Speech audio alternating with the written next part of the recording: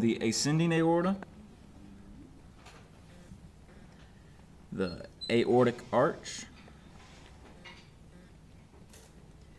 the descending aorta, abdominal aorta, left common carotid artery, the right common carotid artery, the brachiocephalic artery,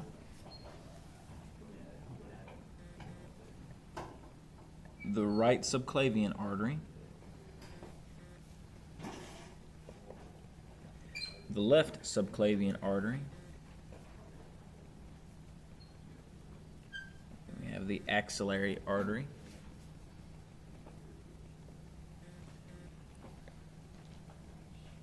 then we have the brachial artery,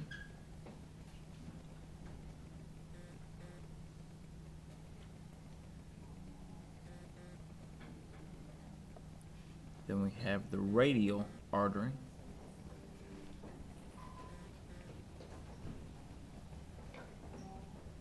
And then we have the ulnar artery. All right. Then we have the right common iliac artery. And the left common iliac artery. The right internal iliac artery and the left internal iliac artery.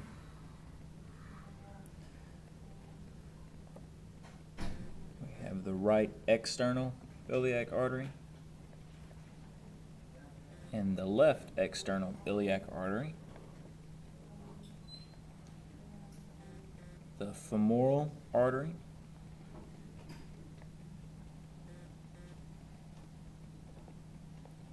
The popliteal artery.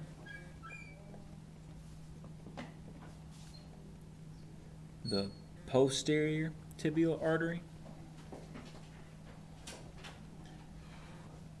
And the anterior tibial artery. And then we have the splenic artery.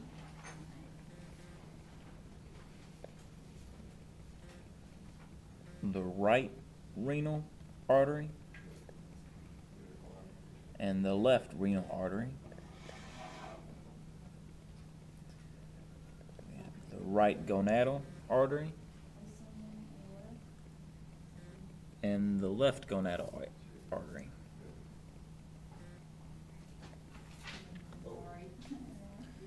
And then we have the right internal jugular vein.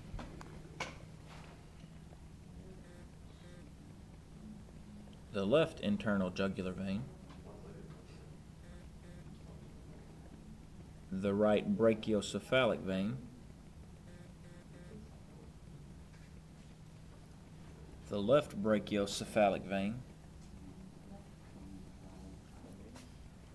the right subclavian vein, the left subclavian vein, axillary vein, the cephalic vein,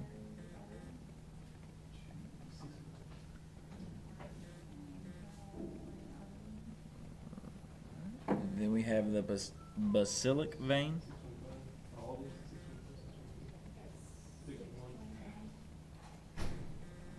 The brachial vein.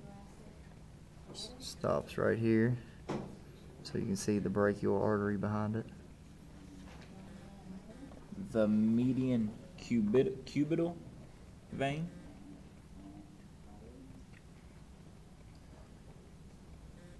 The superior vena cava.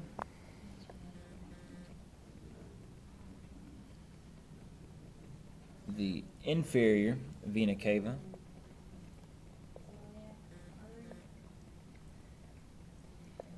Right renal vein. Left renal vein.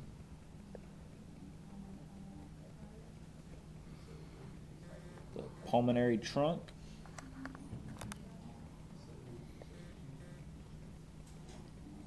the pulmonary arteries, Which are the blue. Then the pulmonary veins, These are the pulmonary arteries too. And the red is the pulmonary veins.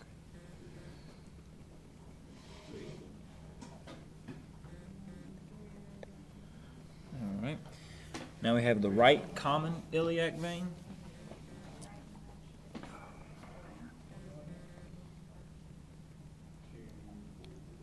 The left common iliac vein.